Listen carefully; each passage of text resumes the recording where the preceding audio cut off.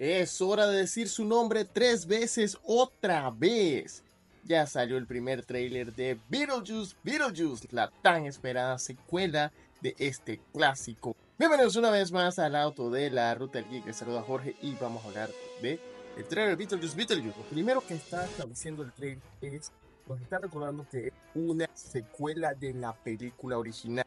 Muchos de nosotros crecimos con la caricatura, algunos lo vieron en sus presentaciones de Universal Studios, pero Beetlejuice no es nuevo. En la película es un villano. La sinopsis oficial de la película es la primera vez que un material oficial de Beetlejuice reconoce que el personaje es un demonio, no un super fantasma, el Ghost with a Mouse, como siempre le han dicho. Otro detalle que me encantó, inicia con el logo de Warner en un tono grisáceo muy parecido al logo de Geffen Pictures, que era la productora que realizó la película original. Igual que en la película original, justo cuando sale el logo se escucha una versión de la canción Day o de Harry Belafonte. Ahora, en este caso en particular la está cantando un coro de niños en un entierro, un funeral. Vemos a Jenna Ortega haciendo el papel de Astrid pasando justo afuera de escuela de señoritas de Miss Shannon. Esta escuela sale al final de la película original, pero es una, esta escuela era bien importante, bien recurrente en la serie animada. Vemos a Jenna Ortega como Astrid recorriendo esta parte del pueblo de Winter River en una, bicicleta muy similar a Lydia al final de la primera película, luego pasando por el infame puente donde Adam y Bárbara fallecieron.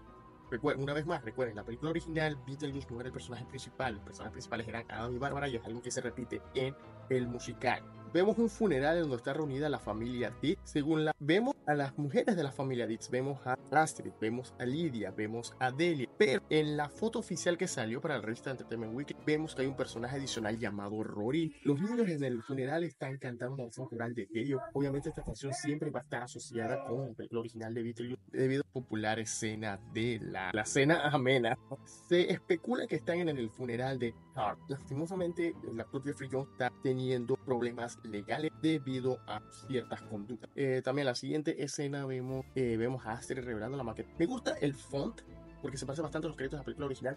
Y justo cuando se revelan las maquetas se están liberando idéntico como en, la, en los momentos clímax de la película original liberando a Michael Keaton como Beetlejuice, que una vez más solamente él puede hacer que un traje de rayas negras y blancas sea icónico. Otro recordatorio que es bien importante, cuando Lydia ve a Beetlejuice, ella está asustada. Una vez más, él, ellos solamente eran amigos en las caricaturas ellos son medio amigos en el musical, pero este Beetlejuice estaba obligando a Lidia a casarse con él en la película para poder él hacer caos dentro del mundo de los vivos y caos dentro del mundo de los fantasmas al mismo tiempo. Esta es una decisión muy importante y siempre dije que la tomaría una sola vez. Y... La película se llama Beetlejuice Beetlejuice. Según Tim Burton, va a ser una trilogía y que obviamente la película va a decir el nombre del personaje las tres veces. Y cerramos con una toma de la cara de Michael Keaton. Sí, se nota en la edad de Michael Keaton, pero por alguna razón le queda bien porque Beetlejuice tanto en todas sus versiones siempre ha